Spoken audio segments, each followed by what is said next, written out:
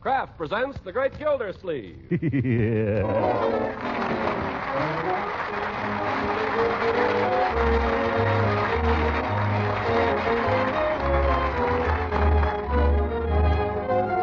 The Kraft Cheese Company will also bring you Bing Crosby every Thursday night. Present each week at this time Harold Peary as The Great Gildersleeve, written by John Whedon and Sam Moore.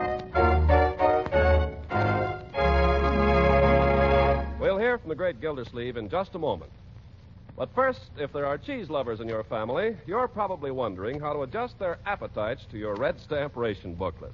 But that's easily solved when you learn how simple it is to extend such favorites as Pabst-ett, the delicious golden cheese food of a hundred uses. You see, a great many of those hundred uses combine the unique cheddar cheese flavor of Pabst-ett with other foods for appetite tingling results. So Pabst-ett becomes an economical luxury that you can use thriftily and often. Take leftover meats or vegetables or fish. Add a smooth, appetizing cheese sauce made with Pabst-ett, and you have another delightful main dish for another meal that's wonderfully good to eat and extra nourishing. Yes, besides adding flavor goodness when you melt or toast or slice it, Pabst-ett helps supply many of the milk nutrients your family needs milk protein, milk minerals, food energy, vitamin A, and vitamin G that's also called riboflavin. So remember the name Pabst-ett, the delicious golden cheese food that comes in a flat, round package. Pabst-ett, the nourishing cheese food of a hundred uses.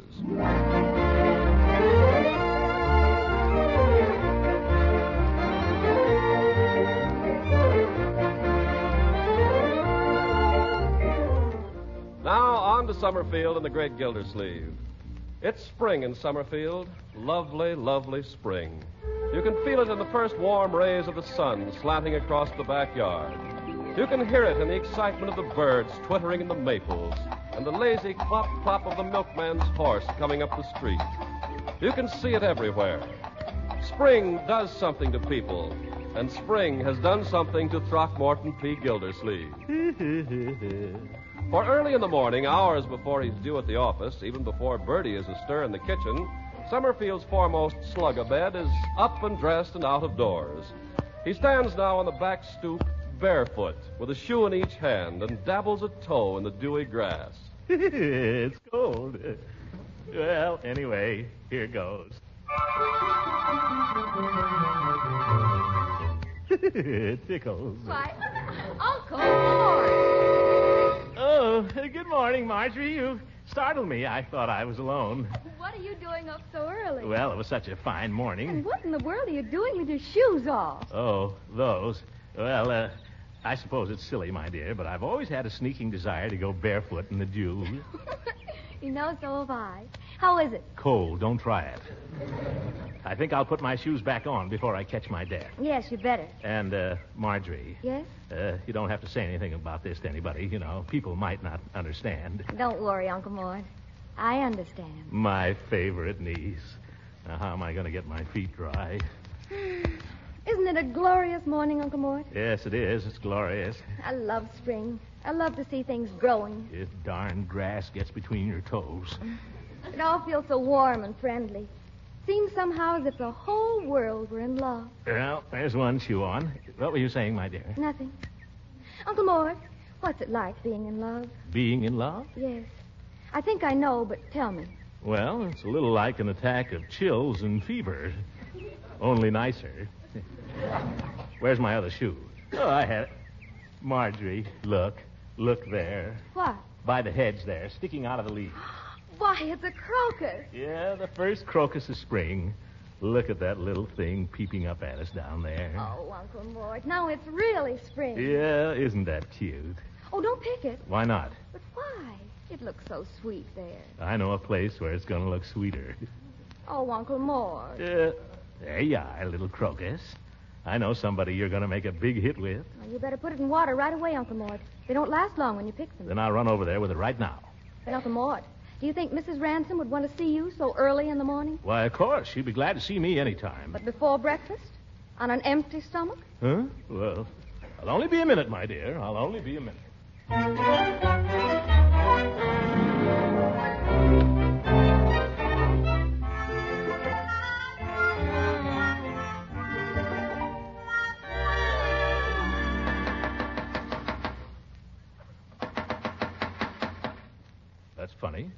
Must be here. Uh, here comes my beautiful angel. Hello, Leila. Throckmorton, what on earth are you doing here at this hour in the morning? I've got something for you. Guess what? Oh, this is no time for guessing games, Throckmorton. You woke me up. But Leila, it's seven o'clock and it's spring. Spring. Yes, doesn't spring mean anything to you? Not at this hour in the morning. Please go home, Throckmorton. Oh, look what I brought you, Leila. The first crocus. Uh, isn't it pretty? Yes, it's very pretty. Yeah. Let me put it in your hair. No, Throckmorton, and take your foot out of the door. Why, Leila. Just one little springtime good morning kiss? No, Throckmorton, you may not kiss me. What? No. In the first place, it's too early, and in the second place, you haven't shaved. Now, please take your foot from my door. But Leila, after all, we're engaged to be married. Oh, we are, are we? Well, sir, I'm not even sure of that. Good morning. Ooh, women.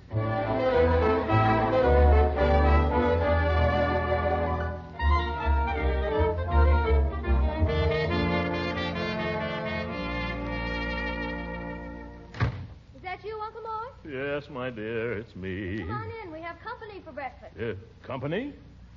Oh, so it's you, Hooker. Yes. Old goat, what are you laughing at? You look so darn silly with that crocus in your hand. Crocus? Oh, oh, yes, I just picked it out in the garden. That's funny.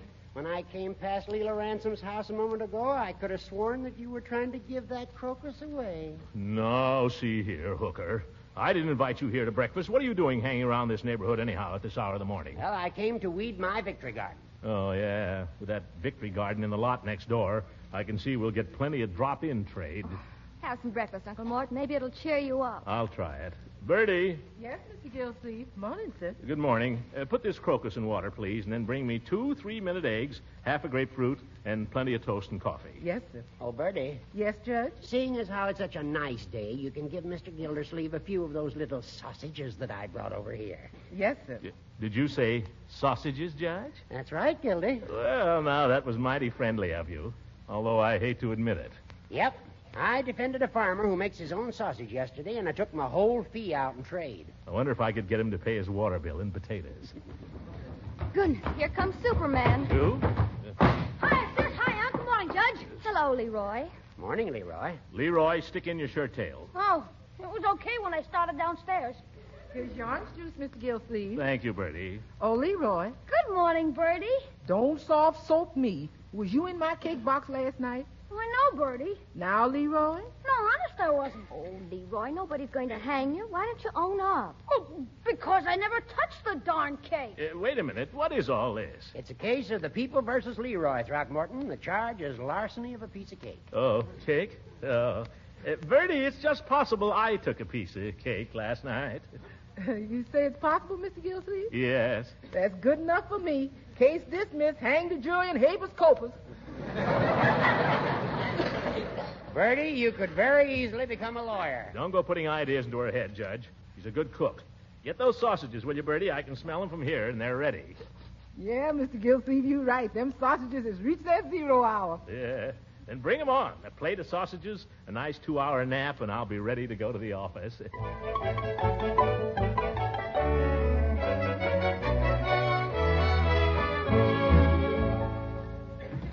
What's that, Bobby? Oh, you can't talk to me like that, you fresh boy, or I'll just hate you. Oh, goodbye, honey. Good morning, Mr. Gildersleeve. Good morning. Uh, good morning. Uh, Uh, Bessie. uh, thank you. Any mail I need to look at, Bessie? Well, most of it could wait till tomorrow. Oh, that's good. and I took care of the rest. Oh, good girl, Bessie. You're beginning to get the hang of the waterworks. Oh, thank you, sir. There was a letter from that new laundry on State Street, and I answered it. It's on your desk for you to sign. Oh, fine, Bessie. I'll clean up my day's work in no time. Yeah, now let me see here. Oh, here it is. Parker Hand Laundry, Summerfield. Dear Sirs, received your inquiry about special water rates for laundries. In reply, beg to inform you we have no special water. We sell only the regular kind. Yours, that Bessie, I'm going to have to get rid of. Oh, Mr. Gildersleeve, What is it now, Bessie? there's someone here to see you. Oh, for heaven's sake, I can't see. Oh, hello, Leila. Hello, Throckmorton. You may go, Bessie. Well, quite a surprise seeing you here. Uh, Throckmorton, I just had to come and see you for a minute. I'm afraid I was a little bit cross early this morning. You hurt my feelings, Leila. Well, I'm sorry, Throckmorton, but you have to understand that no woman likes to be seen early in the morning when she's not exactly at her best. Um, tell me, how do you like my new dress? Leila, what did you mean this morning when you said you weren't sure we were engaged? Well, I didn't mean it just the way it sounded, but sometimes I think you take me too much for granted. Well, I always thought if you're engaged, why, you're engaged, that's all. There you go, Throckmorton, taking things for granted. But I. You think being engaged is just sitting around holding hands and kissing and such. You mean there's more to it?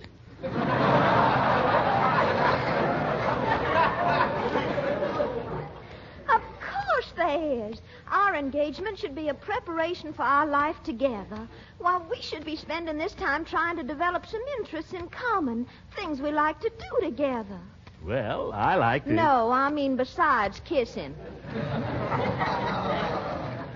I mean things we're both interested in, things we like to talk about, uh, worthwhile things like like world affairs and, and current events and all. Uh, Leila, when I'm with you, I can't think about worthwhile things. But you must try, dear. If we're going to be happy later, we must learn to be friends now. Well, I'm willing to try if you want to, friends. Uh, let's start now, then. How about a nice lunch with me at Dabney's Grill? We can get a booth. Oh, I can't possibly, Throckmorton. I'm having lunch with Marie King at the Woman's Exchange, and afterward we're going to the Red Cross. Oh, gracious, I'm late now. I must fly. But, Leila. Goodbye, Throckmorton, and you think about what I said now like a goodbye. Goodbye. Good. Uh, women. If there were no such a thing as women, this world would be a lot better place. Yeah, but who'd want to live in it? I'm going to lunch.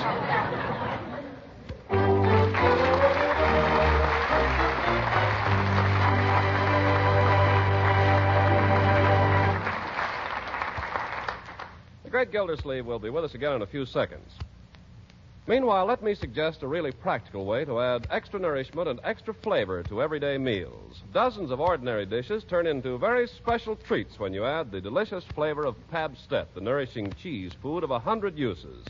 For example, use Pabst-ett in making a macaroni casserole and see how good tasting this economical dish can be with that grand cheddar cheese flavor baked in. Or melt Pabst-ett into a smooth cheese sauce and see how it transforms leftovers of meat or fish into exciting main dishes for the next meal and makes even the plainest of vegetables wonderfully appetizing. Pabst-ett slices perfectly, too.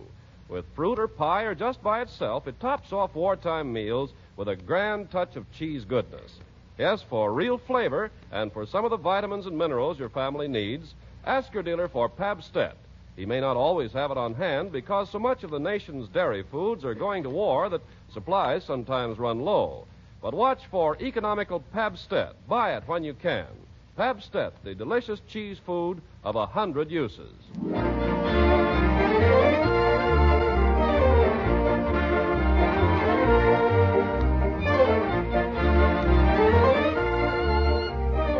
Well, time mooches on. Two hours have passed while Gildersleeve, alone in Dabney's grill, lingered over lunch, glaring at the women around him and muttering into his salad. And now, reluctant to get back to work, he's thought up an excuse to go out to the reservoir and confer with the superintendent. I hardly need to tell you that on a spring day, there isn't a pleasanter place in Summerfield than the reservoir. Uh, cooler here. Charlie! Uh, Uncle Charlie! Uh, might be in the pumping station. Charlie! Uh, Charlie Anderson! Uh, not here. Well, it's a nice day. I'll just lie down here in the shade till he turns up. Ah, spring. Spring, spring, you lovely thing. Bees and birds are on the wing. Listen to the way they sing. Ting-a-ling-a-ling-a-ling. well, not bad. No, Mr. Gildersleeve, that- that's pretty good. Yeah. Peavey, where did you come from? I didn't hear you. Well, I learned to walk Indian fashion as a boy. See, one foot in front of the other. Uh, huh? If I had moccasins on, you couldn't hear me at all. what are you doing out here, Peavey? Well, Gildersleeve, I could ask you the same question. Me? I'm out here on business. Oh, I see. Yes, I'm uh, waiting for the superintendent here, Charlie Anderson. Well, in that case, I'll sit down and help you wait. Who's tending the drugstore while you're out here, Peavey? Mrs. Peavey. Yeah. But it's all right. I've been picking her some wildflowers. See, trailing arbutus. Looks like poison ivy to me. Yeah, and you don't know trailing arbutus. Maybe you don't know poison ivy. Well, I always carry a bottle of calamine lotion with me just to be on the safe side. Yeah, you'd better. Uh, care for some? No thanks. Uh, Peavey, uh, speaking of poison ivy, have you ever had much to do with women? Well, in a manner of speaking, I'm married to one. Then tell me, Peavey, what does a woman mean when she says you've been taking her too much for granted? I haven't heard that in 15 years. Well, what does it mean? Well, it usually means that she's been reading a book. Oh, I'll never forget the year that Mrs. Peavey subscribed to the Ladies' Home Companion. No peace that year. well, what'd you do? I let the subscription run out. Hey, you! What you think you're doing there? Don't you know this is city property? Oh, Charlie Anderson. Wait a minute, Charlie. on, get out of there. Get off the property. Dead, busted. Whoa there. Hold your horses, Uncle Charlie. Put on your glasses. It's me, Gildersleeve. Oh, Mr. Gildersleeve. Uh. Well, by jiggers, it's about time. I called you up. We got to do something here. People coming out here all over the place, breaking bottles, scattering papers, like a dead, busted picnic ground. Oh. Well, Charlie, you know Mr. Peavey, don't you? Of course I know him. What do you think? Know him as well as I know you. Hello, Mr. Folks come out here at night, too, and park in the dead, busted automobiles. Come out here to spoon. What are we running here, a waterworks or a dead, busted petting parlor? Well, Charlie, you have to remember. Holy Toledo. You, you have to remember this is public property, and after all, boys will be boys. Well, I don't mind the boys, it's the women. They come out here in their slacks and, uh, and, uh, they're worse than the men. Well, I wouldn't say that. Come out here and, uh, what'd you say? He said he wouldn't say that. Well, what would he say? You'll have to ask him. Would you care to enlarge on that thought, Peavey? Well, my experience with the fair sex has been that they take a little understanding. I'll say. Now, Mr. Gildersleeve here has a problem. He. I don't know what your problem is, Commissioner, but I'll tell you the answer. Have nothing to do with women, Dad. Bust 'em. Especially this time of the year. Charlie, I'm inclined to think you're right. Well, no, I wouldn't say that. Don't keep saying that. For Pete's sake, what do you know about women anyway?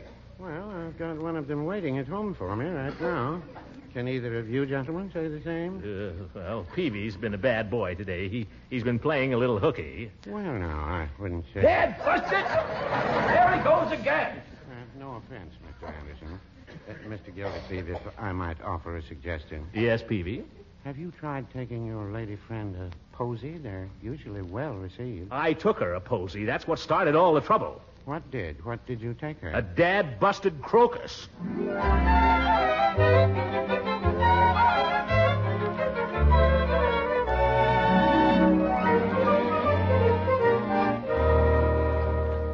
Mr. Gilsleeve, is it all right if I clear away the dishes now? Yes, we're finished, Birdie. And that was a fine dinner. Well, it should have been, Mr. Gilsleeve. It was pretty expensive. Oh, really, Birdie? What did it cost? 18 red points, 16 blue points, $2 in cash, and a coffee stamp.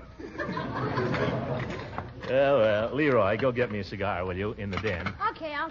And stick your shirt tail in. Is that out again? Well, Marjorie, I suppose Ben will be coming over this evening. How did you guess? We going over to Mrs. Ransom's? Well, I don't know, my dear. I'm not sure I want to. Why, what's wrong? Oh, nothing really. I told you this morning not to go rushing over there at the crack of dawn. Well, she wants me to talk about foreign affairs or something. I don't know what she wants. Worthwhile conversation and all that kind of stuff. Well, why don't you do it? Me talk about foreign affairs? Well, you wouldn't have to talk about them very long. Huh? I don't understand. You will. You just try it. Uh, cigar, Unc. I bit the end off for you. oh, well, perhaps you'll be good enough to smoke it for me. Yeah, sure. You got a light? Yep. I'm fooling. Give it to me. Hey, Unc, h- have you got a minute? What do you mean, have I got a minute? Well, I'd like to discuss something with you. All right, my boy, let's discuss it. Privately, I'd like to discuss it with you alone. What's this all about? I don't know. Uh, will you excuse us, my dear? Just step into the den here, Leroy. Thanks, Unc. Now, what's on your mind, young man? Unc, uh, could I have 53 cents to go to the movies? I thought movies cost 35 cents. Well, well, you see, I'm going with Piggy. Uh, we're each going to buy our own tickets. That's 35. Yes? And then we're each going to pay for half of the other ticket. What other ticket? Well, we have to have another ticket. Why? Well, we're taking somebody. Who? Who are you taking who can't pay for his own ticket? Well, we're taking a girl. Eh, a girl, huh? Yeah, Janie Owen. You too, Leroy. well, I suppose it was bound to come. Here, here's a dollar. Maybe she likes sodas. Ah, thanks, Unc. Gee, you're swell. Unc, uh, one more thing. Now what? Don't say anything about this to Marge. Marge? Why not? Because I'd just die if she found out, Unc. Honest, I'd just die. All right, my boy. I won't say anything to your sister. Thanks. Well, I gotta go. Uh, Leroy. I know. Stick my shirt tail in. Hiya, Ben. When did you blow in? So long, Marge. So long, everybody. Uh, Well, he was in a hurry. Evening, Mr. Gildersleeve. oh, hello, Ben. Uh, won't you take the sofa? Oh, no. Sit still, you two. Sit still. I can sit over here if I want to. Well, um, we were going out anyway, weren't we, Ben? Huh? Oh, sure. Anything you say, Marge. We, uh, we thought maybe we'd go to the movies or something. yeah, we just thought we'd go to the movies. Now, now, don't let me drive you out of here. I'll go into my den or someplace. Oh, now, we don't want you to do that, Mr. Gildersleeve. Ben. Stick around. We weren't going to do anything. Well, I may go out. I haven't decided. Uh, don't let me get in your way. Oh, you wouldn't. Uh, ben, let Uncle Mort do what he wants. If he wants to go in his den, let him go in his den. If he wants to go out, let him go out. Uh, all right, my dear. I'll go. I know you young people want to be together. Oh, honest, Mr. Gildersleeve. Ben! Yes, I, I think Ben wants to be alone. I'll go and look into the international situation next door.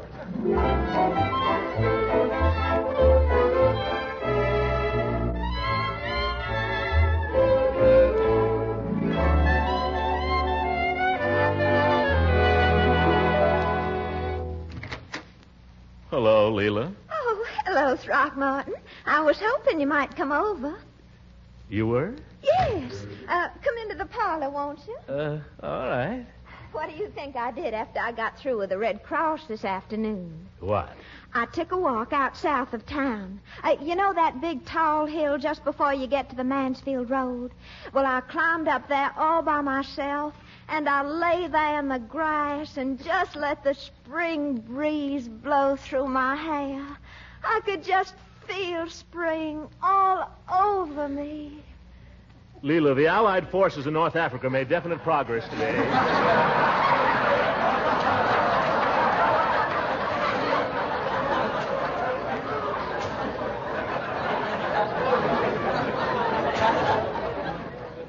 Oh, really, honey? yes. Uh, you know what I think? What, Throckmorton? Well, this is just my personal analysis, of course. But after the Allies take Africa, I wouldn't be surprised if they'd use it as a base to attack Europe. Throckmorton, you're so clever when you want to be. Now, I just would never think of anything like that, but of course you men are all so military. Uh, yeah. Leila, I'm thinking of joining the Book of the Month Club. I imagine it'll be very worthwhile. Oh, I'm sure it will. All my cousins used to belong back home, and they just loved it. I used to wish I had the time to read all those books. They come pretty often, you know. Every month. Mm. Uh, sit down here beside me, honey. All right. Uh, uh, did you hear the symphony concert on the radio this evening? Oh, uh, I missed it. What did they play? Uh, something by Beethoven. You know, Ludwig Beethoven, the well known composer. Oh, yes. I just adore all his symphonies, especially the Moonlight Sonata. Uh, I thought that was a piano piece. Oh, well, uh, it's been arranged for the piano. Um, would you like me to play it for you? Oh, you know I love to hear you play, Leila. Strange I should think of the Moonlight Sonata when there's such a lovely moon outside, isn't it? Yeah, huh? Yeah. Uh, you're sure you want me to play? Oh, please, please play. Yeah. Yeah. Beethoven was certainly a fine composer. Hmm, wasn't he, though? Very classical. Uh, what does moonlight make you think of, Throckmorton? Lots of things. Uh, Throckmorton, do you like this song? Huh?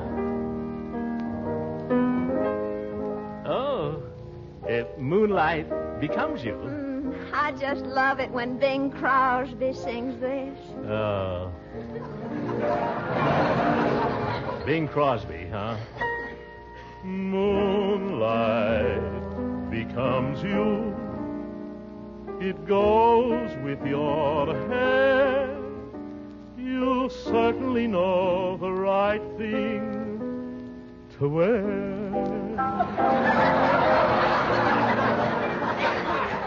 Moonlight becomes you. I'm thrilled at the sight, and I could get so romantic tonight. You're all dressed up to go dreaming. Now don't tell me I'm wrong. And what a night to go dreaming. Mind if I tag along? If I say I love you, I want you to know it's not just because there's moonlight, although moonlight becomes you so. Uh, Leila, Uh, what is it, Throckmorton? Leila, uh, come out into the garden. What for, Throckmorton? I want to tell you about the Ruml plan.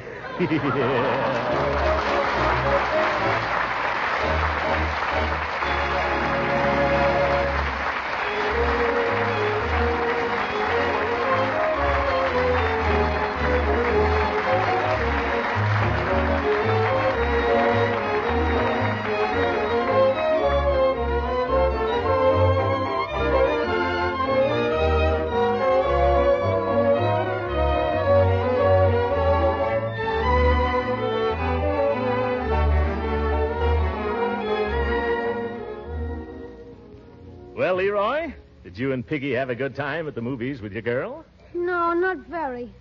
What's the matter? Wasn't the picture any good? Nah, just a lot of mushy stuff. Besides, after two hours, I found I'd been holding hands with Piggy. Yeah. good night, everybody. Good night.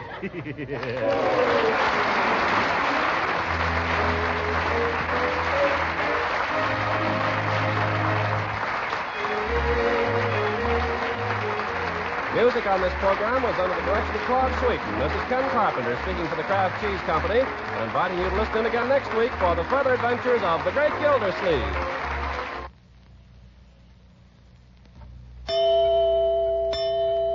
These days, the old saying, a penny saved is a penny earned, has a running mate. A point saved is a point earned. Stretching ration stamps has become just as important as saving dollars. And one of the best ways you homemakers can do both is to buy quality foods like Parkay margarine that are good tasting and nutritious and tops for many uses. Parkay margarine has a delicious, satisfying flavor that makes it just about perfect as a spread for bread. It's a wonderful seasoning for hot vegetables. And when it comes to baking, you can depend on Parkay because it is a real flavor shortening. You like it for pan frying, too. It doesn't spatter or stick to the pan. Every economical package of Parkay margarine helps supply the energy and vitamins your family needs. Is one of the best energy foods you can serve, and every pound contains 9,000 units of vitamin A.